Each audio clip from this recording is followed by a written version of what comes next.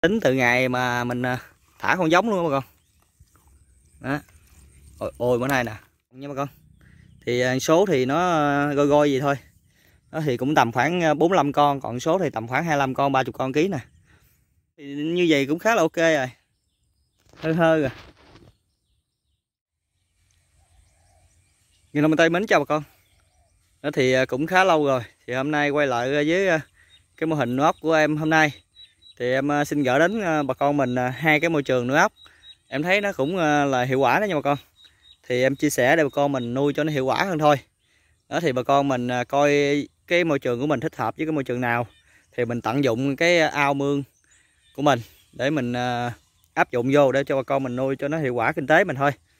Đó, thì quay lại với cái môi trường hôm nay, thì thứ nhất em giới thiệu cho bà con mình cái môi trường là nuôi ốc bù đen với cái phương pháp là mình thả bèo tây tượng dày mặt nước ao thì bà con nè với cái phương pháp như thế này á thì à, mình nuôi thì nó sẽ đỡ cái phần cho ăn hơn. Nhưng mà ốc mình nó là bóng đẹp nha bà con.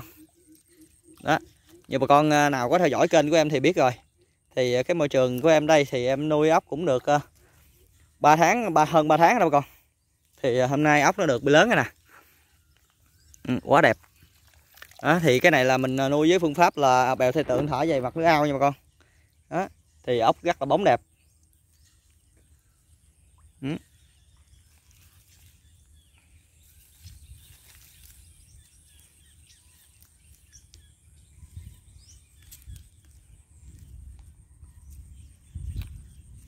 thì à, mình à, tính từ ngày mà mình à, thả con giống luôn bà con. Đó.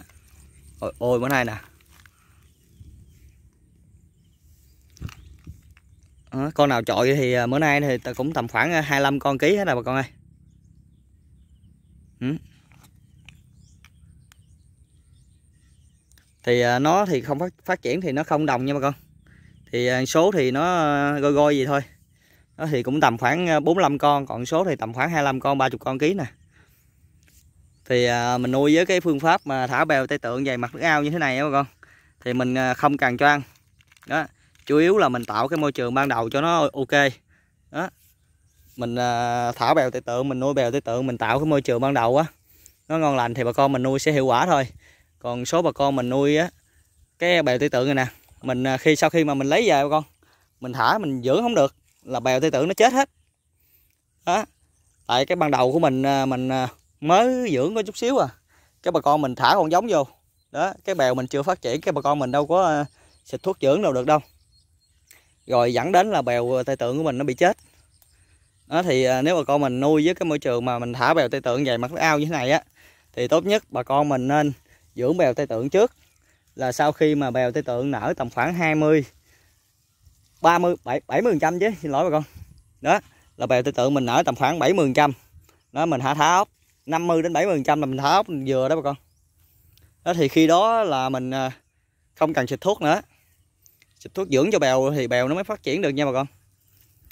Thì à, sau khi mà con mình à, dưỡng cho nó tầm khoảng 70 trăm ao đi 50 đến 70 trăm ao, thì bà con khi đó thì bà con mình thả con giống được rồi. Đó thì à, mình nuôi với cái môi trường như thế thì khá là ok.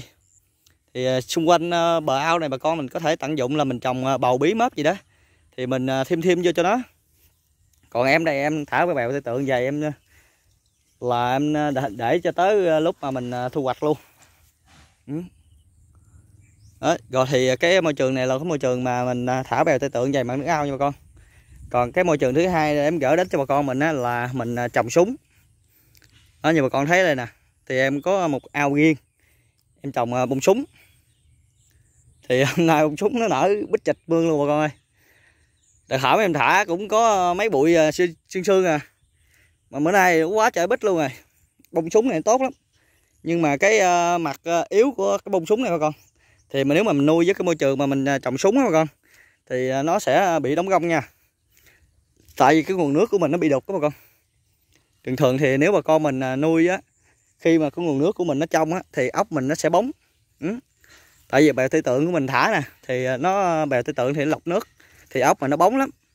Còn mình trồng súng á thì nó cũng che mát được nguồn nước nhưng mà nó ốc mình nó không bóng nha bà con một số nó sẽ bị ờ, đóng gông ừ. nhưng mà cái mặt lợi của nó thì mình ờ, dễ kiểm soát ốc, dễ ờ, thu hoạch lắm tại vì trồng súng mà con thì mình chỉ dẹt dẹt lá súng ra thôi thì ốc nó có rồi mình gặp ốc rồi ừ. Ừ. nó nằm dưới này nè nhưng mà nó bị đóng gông nè bà con ồ, cũng có một số không đóng gông nữa nè ta mình dễ à, mình dễ kiểm soát lắm mình bắt được cũng dễ nữa, mình dẹt dẹt cũng súng ra thôi. Còn mà khi mà mình à, nuôi với cái môi trường mà thả bèo tê tưởng đó bà con, thì à, khi mà mình dẹt dẹt cái gì nè, thì bè nó nó nó rớt xuống mình không chịu vớt nữa. Nhưng mà nuôi này thì quá có đóng gông rồi. Thì cái nào nó cũng có mặt lợi và mặt hại của nó nha bà con. Ồ ốc bữa nay bên đây nè. Nó bị đóng gông mà đóng gông chút đỉnh nè nha bà con nhưng mà nó đóng gông thì như vậy cũng khá là ok rồi. Hơi hơi rồi. Không lấy nét được ta. Ừ. thì à, bà con nào mà chuẩn bị nuôi á hay là có dự định nuôi á chưa biết gì á thì cứ gọi trực tiếp cho em. Hoặc là kết bạn zalo thì bà con mình cứ à, nhắn tin gì đó. Nếu bà con ngại thì có thể nhắn tin cho em. Thì em biết nhiều em sẽ hỗ trợ cho con mình nhiều để mình nuôi cho nó hiệu quả thôi tại vì à, bà con à, mới thì à, mình hơi khó khăn lắm. Thấy gì chứ nuôi ốc, bù đen thì dễ thì không dễ, nhưng mà khó thì không khó. Nhưng mà con lúc đầu thì cái gì mình chưa biết thì mình cứ việc hỏi. Chứ để bà con mình không biết mình, để mình làm thì nó không hiệu quả cao. Tại vì em cũng làm vài năm rồi, nên em cũng biết được chút đỉnh. Thì bà con nào có không biết gì thì cứ gọi trực tiếp, hoặc là kết bạn zalo với em đó. Thì bà con cứ hỏi thì em biết em sẽ chia sẻ cho bà con mình nhiều thôi.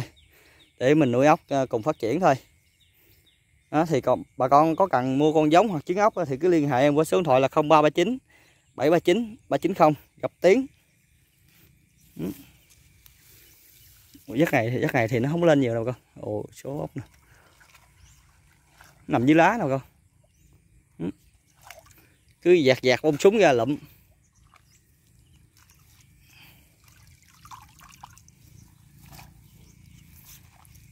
Đó, rồi thì hôm nay em ờ, chia sẻ cho con mình hai cái môi trường nuôi ốc như thế này thôi. Thứ nhất là bà con mình ờ, nếu mà mình thích hợp nuôi ờ, bèo tây tượng á môi trường của mình có bèo tây tượng á, thì mình nuôi bèo tây tượng. Còn không thì bà con mình có thể là trồng súng. Nhưng trồng súng thì nó không yên im bằng bèo tây tượng nha bà con. Tại bèo tây tượng thì nó hay lắm. Nó vừa lọc nước đó vừa che mát cho ốc mà vừa làm nguồn thức ăn cho ốc luôn. Thì ốc mình nó sẽ bóng đẹp mau phát triển còn nếu bà con mình không có bè tự tượng thì bà con mình có thể trồng súng. Trồng súng thì ốc của của mình thì nó không được bóng thôi nhưng mà nó vẫn phát triển ok. Ừ, ừ, bà con. Nó nằm ở dưới lá súng nè. Nằm khệt dưới chứ. Ừ. thì nó nó cũng ờ, có bóng nữa nhưng mà nó không đồng. Không đồng đều á bà con. Nó số bóng số bị đóng gông nữa nó không bằng bè tay tượng bè tay tượng thì ờ, là ốc là bóng đẹp luôn. Rồi thì hôm nay em có một số chia sẻ cho bà con mình nhiều thôi.